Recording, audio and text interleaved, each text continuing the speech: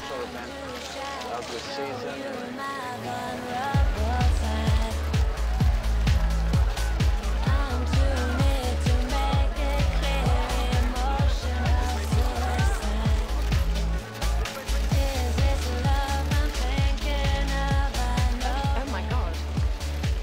Oh so chic. Oh, thanks, You look so thin. Do I? On this new diet. It's very effective. Well, I don't eat anything. And when I feel like I'm about to faint, I eat a cube of cheese. Well, it's definitely working. I know, I'm just one stomach flu away from my goal weight.